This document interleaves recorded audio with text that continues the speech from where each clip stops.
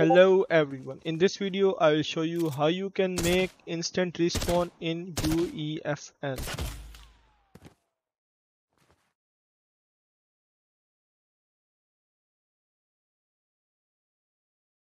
So first of all you should go to UEFN and press on Verse Explorer, right click on the project name, add new Verse file to project. You can call it however you want. I'm gonna just type insta respawn and then make sure you create it as empty. After doing that it will take some time then double click on the thingy and then it will open the visual studio code or any IDE now copy paste the code from my discord. Make sure you join the discord server. The link will be in description and also in comments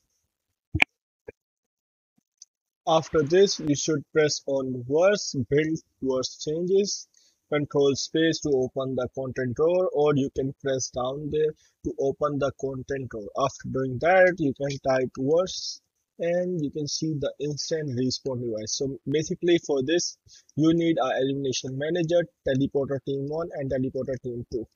So you should add a teleporter device team 1 change it to team 1 and the other one change it to team 2 make sure both of them don't have any groups.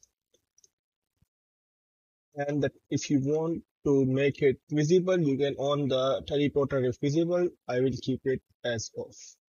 And nothing else. Now you need a elimination manager device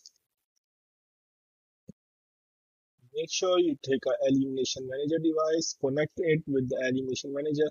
Make sure that you own valid on self elimination. So if you kill yourself using an explosive or anything, then this thingy will help you and it will respawn you as well. So the teleporter team 1 and team 2 is done and this is for our 1v1 respawn device. So that is it for this one.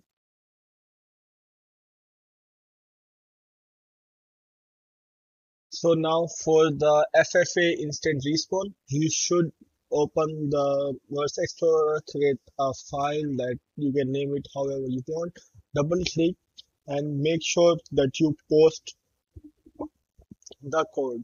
And after doing that, press verse, build verse changes and you can continue this. After doing that, you can type verse and it will show you the instant respawn I respawn FFA. So here you need a elimination manager device which you can find in the Fortnite folder.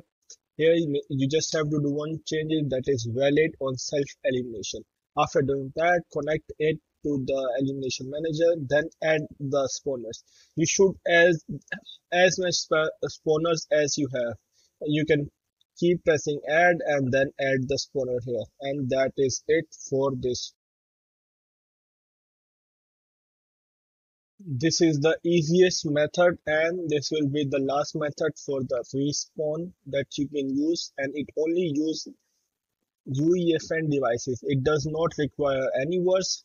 You just have to open the content drawer type elimination manager device put it down and make sure it is valid on self elimination and after doing that you can press on the elimination uh, all the spawners. Let's say you have two spawner you can uh, select them both at the same time.